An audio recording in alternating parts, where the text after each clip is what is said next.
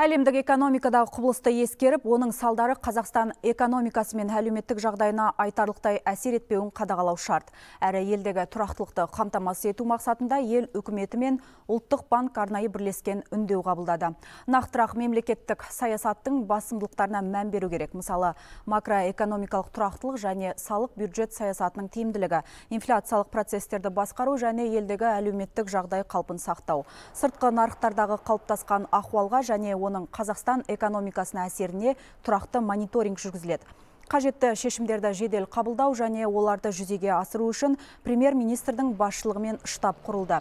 Үкіметтің бюджет саясатының шаралары әлеуметтік міндеттемелерді толық көлемде орындауға бағытталмақ. Бюджет шығындары қысқартылмақ. Үкімет пен жергілікті атқарушы органдар бағаның негізсіз өсуін әсіресе әлеуметтік маңызы бар тауарлар мен қызметтерге бағаның көтерілуін болдырмауға ерекше назар аударады қызметкерлердің санын қысқартуға жол бермеуді және еңбек ақыны уақытылы төлеуді қоса алғанда азаматтардың еңбек құқықтарының сақталуы қатаң бақыланады.